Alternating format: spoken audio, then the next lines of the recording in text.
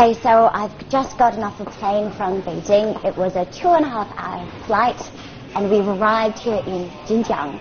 Now, Jinjiang is a town not very far away from Xiamen in Fujian.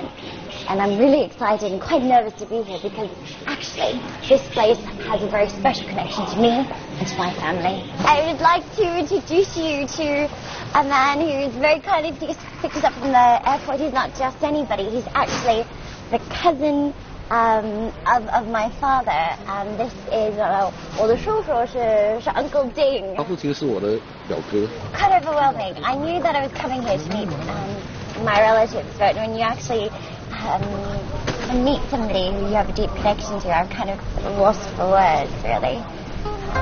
Welcome to this special edition of Travelogue. Here we journey to Jinjiang, Fujian, taking a little detour through my family's past. So we're heading out to dinner, and I'm quite excited because it's going to be quite a special meal for me. Anyway, um, the reason is for the first time while we're here, I'm meeting my Philippine uncle, Uncle Sixto. And I'm really excited to meet him because he's the reason that I was able to get in touch with all my relatives here in Fujian in the first place. So it's the first time I'll be meeting him and his family, and that we'll be all sitting together. So it should be really good. My grandfather was from Jinjiang, but when he was a boy, he left the country to make a living in the Philippines. We'd lost contact with our Fujian relatives for decades. Now, I'm about to meet the son of my grandfather's older brother and his family. My grandfather passed away 13 years ago, but is survived by two of his younger sisters. After months of searching, tonight I'm meeting one of them. 爷老二，老二。坐吧坐吧，他其实是叔叔奶，他是我的呃二代姑奶奶，姑妈姑妈妹妹。呃，对，是我的爷爷的妹妹，my grandfather's um second youngest sister. So. This reunion had been planned for months. Um, he's the reason that we were able to get in touch with Goma. He helped us um, lots of inconveniences and lots of help, lots of phone calls um, from Beijing and Sydney and the Philippines, and we were able to organize this meeting. So I'm very, very grateful for Uncle Sixto and his wife, Nilda. So um, this is the first time we're meeting as well. We never set eyes on each other before, but Young Ruhua, my grandfather's second youngest sister, made me feel like we'd always known each other. I found her to be a warm and impressive woman, a retired doctor, and the mother of Uncle Ding, who we met at the airport. She told me her older sister had already passed away, but the youngest sibling was now living in Xiamen not too far away, and I would also get to meet her soon. Over dinner, I was told stories about their childhood, and it was a happy evening, giving me not only my first taste of delicious local food, but of life in Jinjiang too. And I couldn't wait till morning to experience it for myself. Coming up next, after years of separation and months of searching, I'm reunited with my Fujian relatives.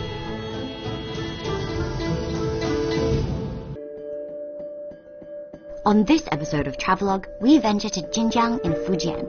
There we explore the tradition and history of this seaside city, the origin of many Chinese now living all over the world. And I get to meet for the first time some special relatives of my own.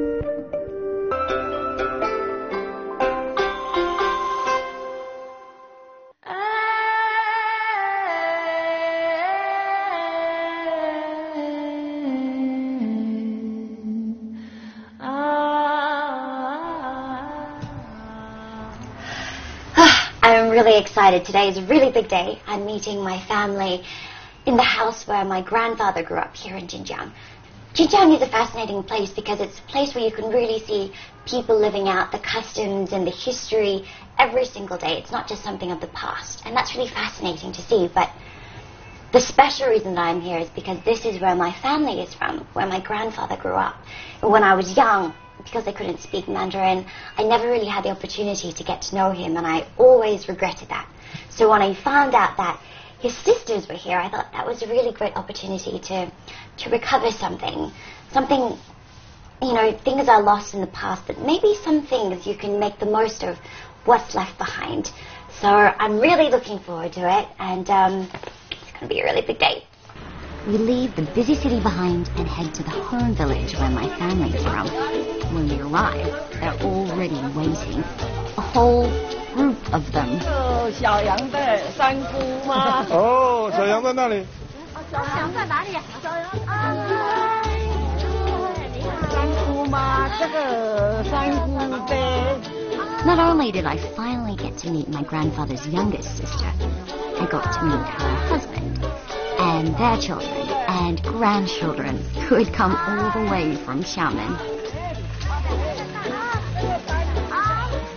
I didn't have a lot of names to remember, but titled in Chinese, each relative, for example, my second aunt's husband, is called a specific word.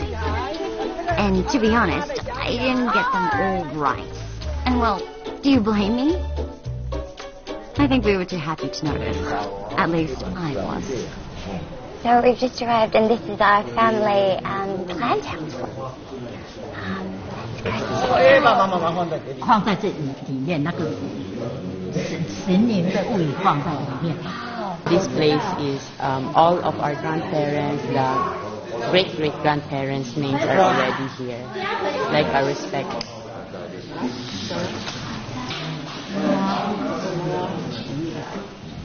Um, in China, family is everything. And that day, I felt very rich indeed.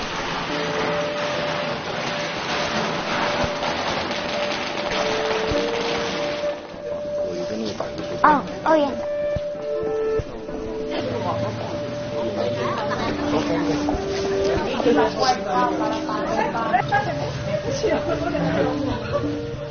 So this particular house, my grandfather went to the Philippines, he raised some money and sent back and helped to build this house. But there was more to come. Um, this is my Uncle Sixto's father's house, and um, they say it has eight rooms. It hasn't been very well um, preserved, but it's a really touching thing for him to be able to see where um, his father lived in the house that his father built.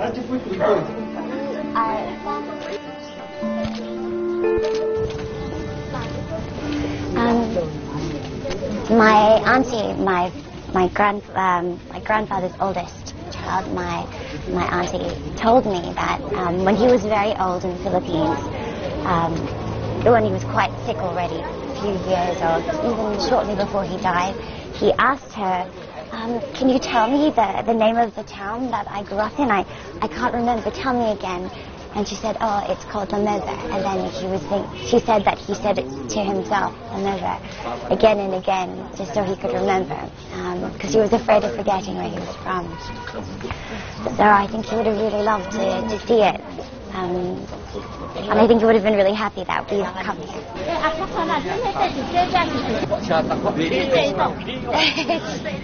this one here, they grow up. 很早了， 六十几年了，五几年盖的。现在木冰嘛，可能木冰比冰一样。 And finally, my grandfather's house. So um, we're not actually sure who lives in the house at the moment, so we're, we can't go inside. But um, we can just sort of see around the front and I really can't believe this is where my grandfather grew up. He always talked about um, wishing he could come back and see it for himself, and it's overwhelming that he wasn't able to, but I have this opportunity to see it myself. So I've been told this house was built in around the 1950s to 60s, and at the time, um, people who had this kind of house were considered very wealthy or quite well off.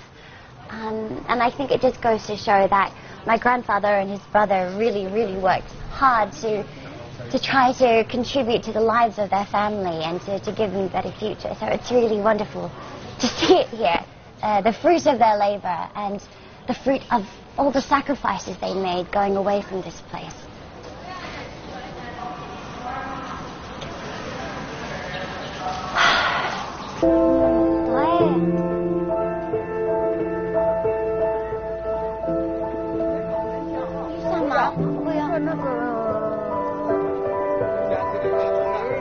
Come on.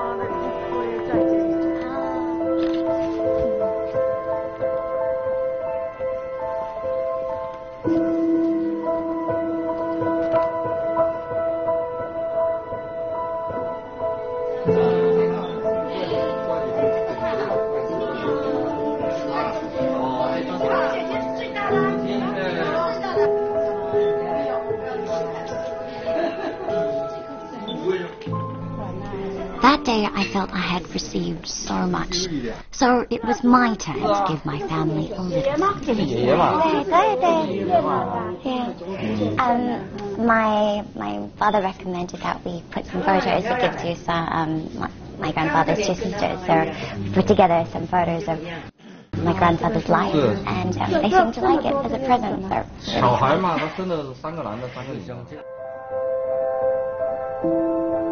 小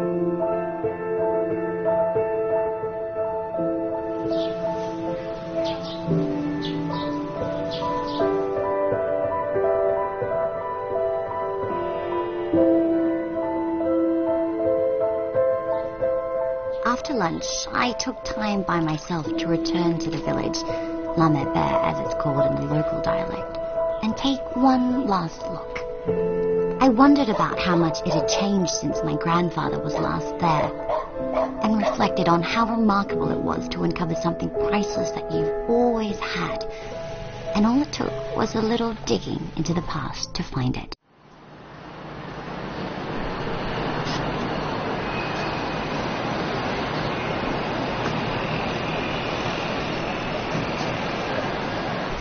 Jinjiang is a county level city in Quanzhou. It borders the East China Sea and is home to just under 2 million people. It's easily reached by plane as it has its own airport.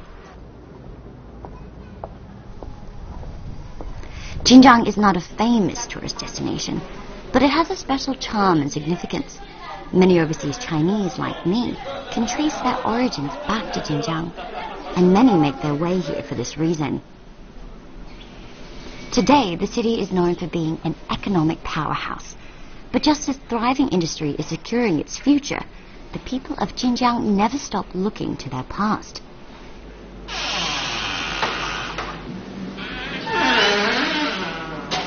They live a traditional lifestyle, and within many communities, visitors can find customary clan temples. These buildings are like mini museums, celebrating and recording the histories of Chinese families. They are also sacred places to pray and pay homage to ancestors. But no matter your background, you can pay each a visit and appreciate the stories preserved within their walls. Many of the more prominent families in Fujian have what's called an ancestral hall, and this is quite a beautiful example. It belongs to the Zhuang family clan. Now, descendants of that family, who are now maybe based all over the world, can come back to this place and really feel deeply rooted and learn more about their family dating back to 12 generations. The Zhuang Temple is located within a newly developed area in downtown Jinjiang called Wudian Shi.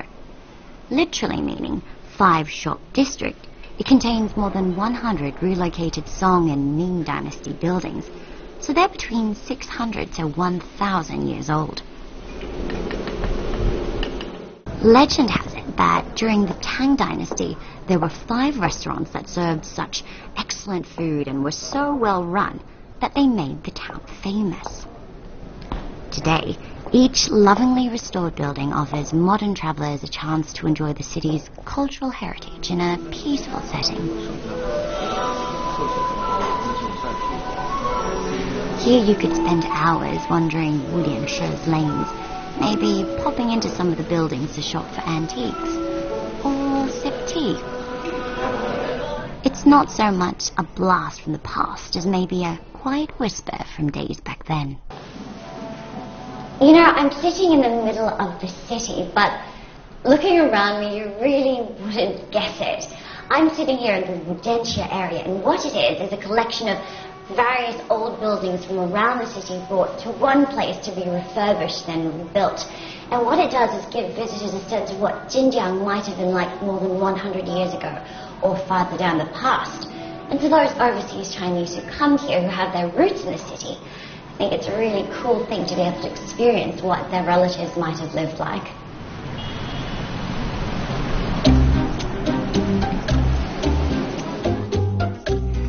Fujian's industry and prosperity is in part thanks to its location. Bordering the sea, it was an important commercial port and for centuries the scene of bustling international exchange. Little wonder Jinjiang remains quite diverse today. Many local families have influences from other cultures and religions within their ancestral lines. Local culture mixed with and adapted elements of Christianity, Manichaeism, and Islam. This is easily seen when stepping into the temple of the Ding clan. A branch of this family have their origins in Persia, and while not all Ding descendants practice Islam, many strongly identify with their Muslim heritage.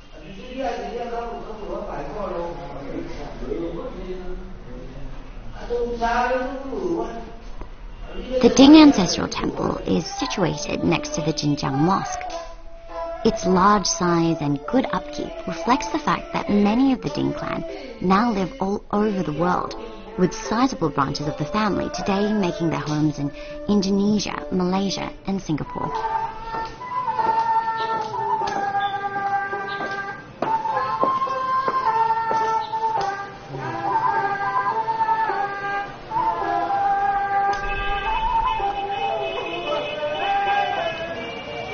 Having come from the Ding Ancestral Hall, you really get a sense of the Muslim culture that was brought to Jinjiang.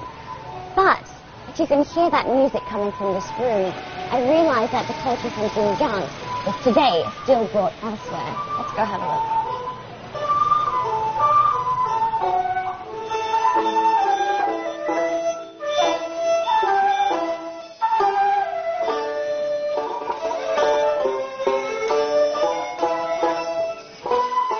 The upstairs room of this community centre is the base of this local Nanyin group. Nanyin translates as music from the south and is also known as thousand-year-old music. The ancient genre uses traditional Chinese instruments and its songs are sung in southern Chinese dialects. Nanyin first flourished during the Tang period, around 1400 years ago, and was often played in imperial courts.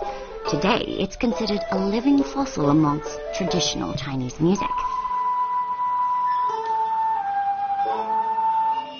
These musicians are passionate about Nanyin and have traveled together across Asia performing for international audiences. Nanyin's lyrics are poetic and romantic, reflecting the lives of the local people through the ages. Songs tell tales about heroes and heroines or of lost love or longing for a home far away. I guess having such universal themes is one of the reasons Nanyin remains popular in Southeast Asia.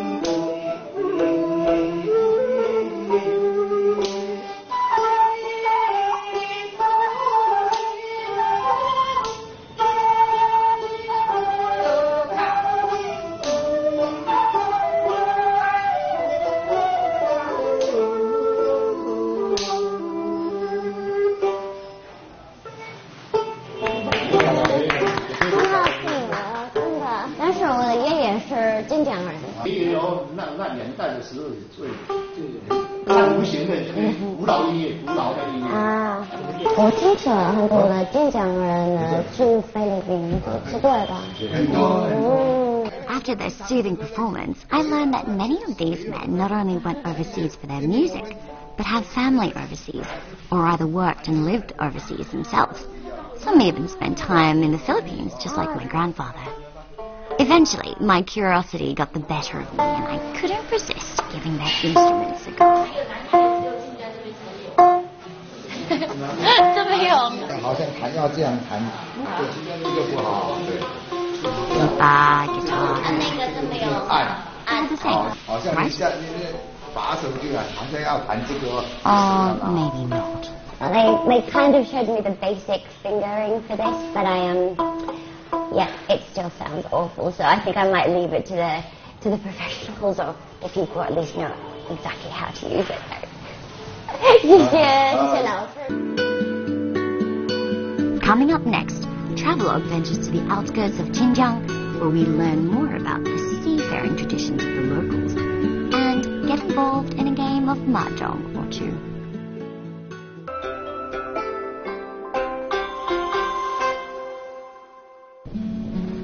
My short time in Jinjiang has so far been filled with encounters with travelers. Millions of overseas Chinese can trace their roots back to Fujian shore, my own family included.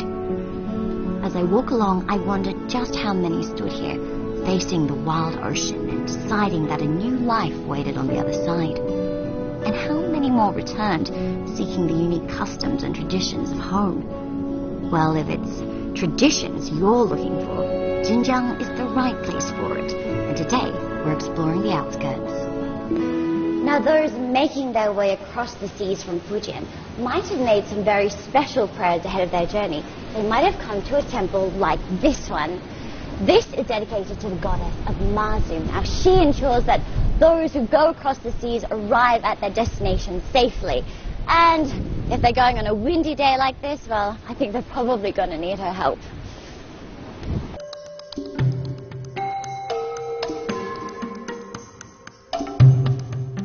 One man who might have prayed to Mazu was Shi Lang, a maritime admiral who served the Ming and Qing courts. He spent much of his life on high seas, but a lot remains of his life on land. Tourists who venture beyond Jinjiang Center can visit his impressive courtyard home, which still stands today.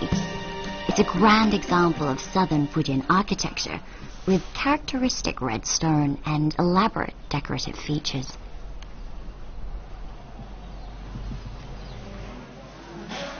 Exploring the quiet grounds of Shi Lang's abode, I notice some noise coming from next door and decide to investigate. I come across another ancestral hall with a bit of a recreational center in the backyard. You know, it may seem like ancestral halls are quiet, solemn places without any life in them, but just looking back here, you see that they're very much still an active part of the community. People come here to play, to chat, to catch up. Um, and it really is a center of society here in Fujian.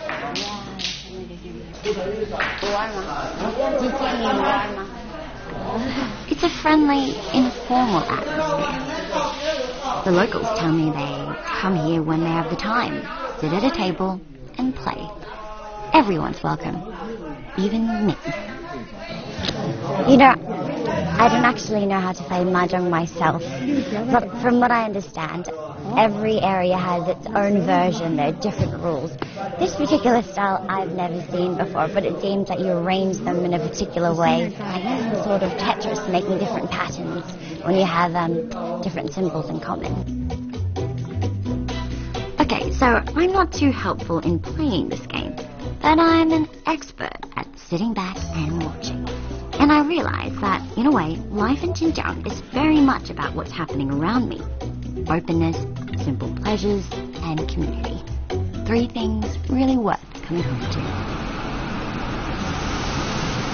So we're leaving the city of Jinjiang and are on our way to Xiamen with a convoy of my family members. And I have to say, I really enjoyed my time in Jinjiang. There's a lot of historic places to visit, but at the same time, it's a very modern city with lots of restaurant options, lots of hotel options. And by the way, you can stay at a really nice hotel in Jinjiang for just about 250 kwai. And um, the rate of development makes it so surprising to me that we were still able to visit old places such as my grandfather's village and see his old house. That was really a moving moment for me. And the time I spent in Jinjiang will be time that I definitely won't easily forget. An easy two and a half hours later. Well, we've arrived in Xiamen. I'm sitting in front of this beautiful school, which is the Jimei Middle School and it's in this leafy educational precinct of Jimei. Now, this area exists thanks to the work of one man, a Fujian businessman named Chen Jiageng. He made his fortune abroad and then returned to Fujian and invested in this area, which has lots of schools and university buildings, and it really reflects the, the value of education and, and its importance to the Fujian people. Speaking of Fujian people, Mr. Chen was just telling us a little bit about the architecture here. The roof is Chinese building, and this side bamboo head. The others are Western buildings, also called Western style clothes. They are called wedding Western style clothes and putting on bamboo head. We Mr. Chen Jiageng's Loving's country idea. Well, that's what I call multicultural design. This place is full of pleasant surprises in its people as well as its atmosphere. You know, I really love walking around this place. It's got this really relaxed feeling, like you can strike up a conversation with anybody, like Mr. Chen, who randomly gave us a, a little guide for just about 50 kwai, by the way. It's got this really relaxed feel with the tourists and the students walking around. It's almost romantic, too. I kind of envy those who get to study here, although I don't know how much studying I'd get done.